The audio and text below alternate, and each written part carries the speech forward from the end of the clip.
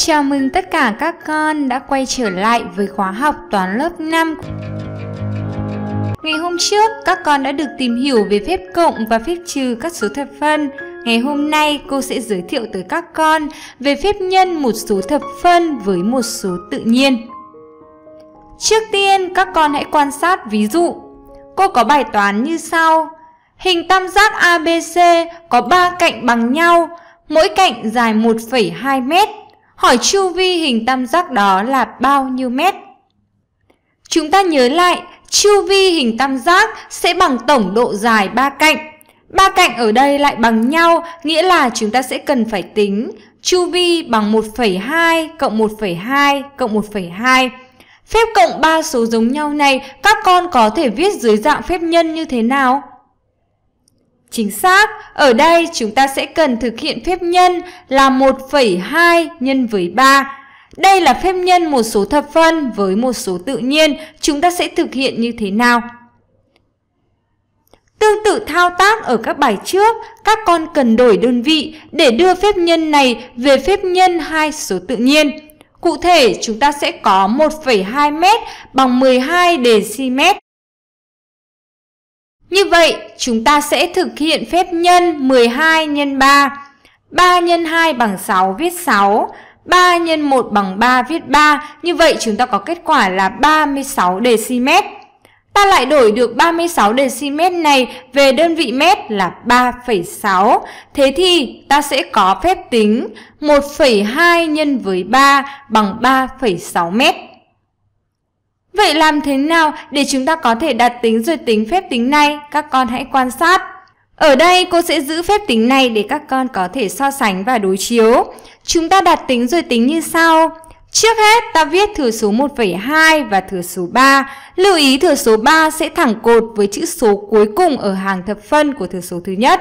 Sau đó chúng ta thực hiện phép nhân. 3 x 2 bằng 6 viết 6. 3 x 1 bằng 3 viết 3. Sau khi nhân xong thì các con sẽ đếm số chữ số ở phần thập phân của thừa số thứ nhất. Ở đây 1,2 có một chữ số ở phần thập phân. Thế thì khi đó tới tích chúng ta sẽ tách một chữ số ở phần thập phân kể từ phải sang trái, nghĩa là ở đây cô sẽ đặt dấu phẩy vào chỗ này. Khi đó chúng ta đã kết thúc việc đặt tính rồi tính phép tính này. Dựa vào việc thực hiện hai phép tính, các con hãy rút ra cho cô cách đặt tính rồi tính phép tính này. Chính xác, chúng ta thấy rằng với phép tính này chúng ta sẽ thực hiện phép nhân như nhân số tự nhiên. Sau đó, các con sẽ đếm được là phần thập phân của số 1,2 có một chữ số. Thế thì chúng ta sẽ dùng dấu phẩy để tách ở tích ra một chữ số kể từ phải sang trái. Cô nhắc lại là đối với việc thực hiện phép nhân số thập phân với số tự nhiên, các con có 3 thao tác. Đầu tiên là nhân như nhân số tự nhiên. Sau đó là đếm số chữ số ở phần thập phân của số thập phân. Sau đó là tách ở tích ra số chữ số bằng đúng số chữ số vừa đếm được kể từ phải sang trái. Các con đã nắm được thao tác thực hiện phép nhân số thập phân với số tự nhiên chưa? Chúng ta sẽ cùng chuyển qua ví dụ thứ hai. Thực hiện phép tính 0,46 nhân với 12. Các con quan sát thao tác đặt tính rồi tính của cô. 0,46 nhân với 12. 2 nhân 6 bằng 12 viết 2 nhớ 1. 2 nhân 4 bằng 8 nhớ 1 bằng 9 viết 9. 2 nhân 0 bằng 0. 1 nhân 6 bằng 6 viết 6. 1 nhân 4 bằng 4 viết 4. 1 nhân 0 bằng 0, sau đó chúng ta cộng. 2 cộng 0 bằng 2, 9 cộng 6 bằng 15, viết 5 nhớ 1, 4 thêm 1 là 5, viết 5. Sau khi thực hiện phép nhân xong, chúng ta sẽ đếm số thập phân 0,46 có hai chữ số ở phần thập phân. Như vậy, ở tích này, chúng ta sẽ dùng dấu phẩy để tách ra hai chữ số ở phần thập phân kể từ phải sang trái. Chữ số thứ nhất chữ số thứ hai. Như vậy chúng ta sẽ đặt dấu phẩy vào đây. Và như thế chúng ta đã kết thúc việc đặt tính rồi tính phép nhân này. Cô nhắc lại các thao tác như sau. Chúng ta sẽ thực hiện phép nhân như nhân số tự nhiên. Sau đó đếm rằng số 0,46 có hai chữ số ở phần thập phân. Vậy thì ta cần dùng dấu phẩy để tách ở tích ra hai chữ số thập phân kể từ phải sang trái. Và kết quả là 5,52. Đó là các thao tác để các con thực hiện phép nhân một số thập phân với một số tự nhiên. Từ đây cô sẽ có kết luận cho việc thực hiện phép nhân số thập phân với số tự nhiên như sau.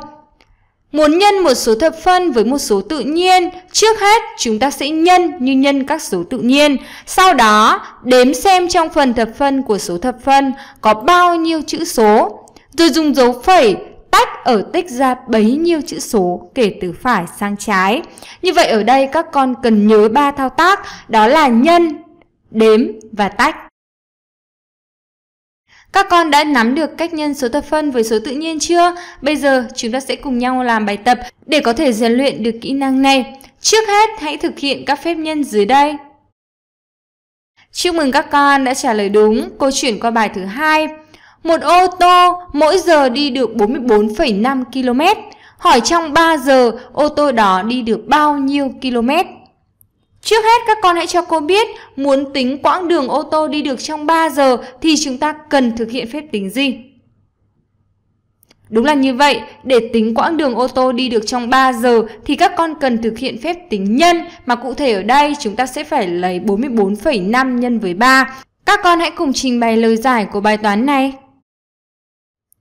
Chính xác, chúng ta có trong 3 giờ ô tô sẽ đi được số km là lấy 44,5 nhân 3, kết quả sẽ là 133,5 km. Như vậy, ở bài giảng ngày hôm nay, cô đã cùng với các con thực hiện các thao tác nhân một số thập phân với một số tự nhiên. Bài giảng tiếp theo, chúng ta sẽ cùng tìm hiểu sang phép nhân một số thập phân với các số tự nhiên đặc biệt như 10, 100, 1000, vân vân. Để rèn luyện thêm kỹ năng thực hiện phép nhân, các con hãy luyện tập trên trang web olm.vn. Cảm ơn các con đã lắng nghe bài giảng. Hẹn gặp lại trong các bài giảng tiếp theo.